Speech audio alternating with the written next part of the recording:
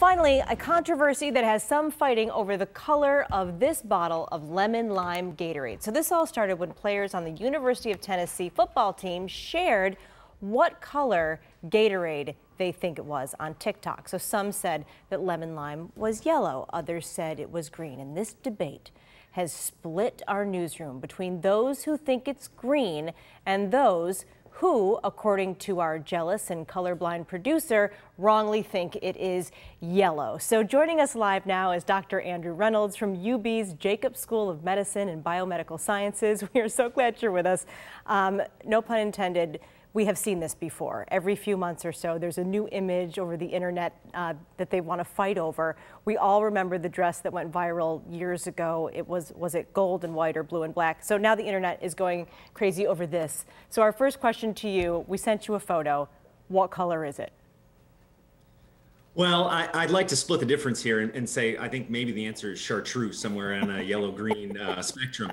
Uh, I, I, guess as a kid, I always thought it was yellow, so I, will come down on the yellow side if you force me to pick between the two. Well, that is the correct answer, unlike what our producer Adrian tried to spread around the newsroom, so we appreciate that. Um, but what is going on here? If he sees green, I see yellow, you see yellow, what accounts for people having such a different perspective here?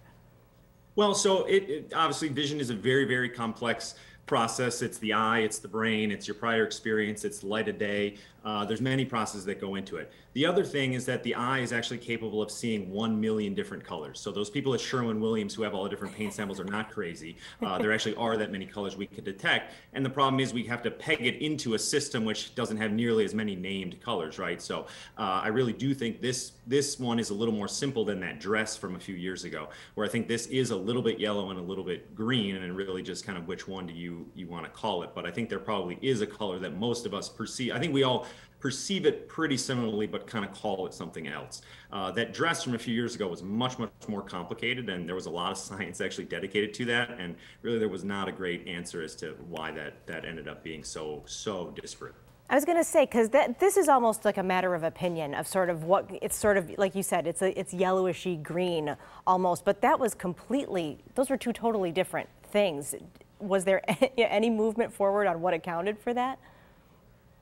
Uh, there were a lot of different theories. I, one of them had to do pretty prominently with ambient light and and how your brain filters out extraneous light. And so that if you thought that picture was taken during the day you kind of had one opinion and if you thought it wasn't you had another.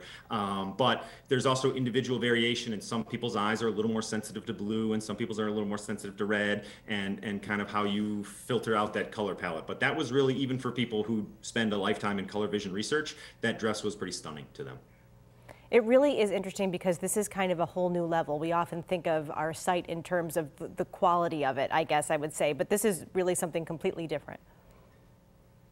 Yeah, this is, and and everyone thinks of their oh my vision is 20/20 or my vision is uh, perfect or near perfect or whatever. Um, but color is really a whole different system, and there are uh, three different types of colors that primarily our our retinas are set up to detect. Um, but then it goes to the brain, and that's where that huge amount of processing happens, and that's how you end up getting uh, up to a million different colors that we can detect the differences between you know, it's funny, it's something that's kind of silly, but it makes us really appreciate just what we have going on here with our eyes and how complex they are. Yeah, they're very complex, and thankfully, all of us still know how to use them pretty well. That's Dr. Andrew Reynolds from UB's Jacobs School of Medicine and Biomedical Sciences taking on this very important topic tonight. Doctor, thanks again.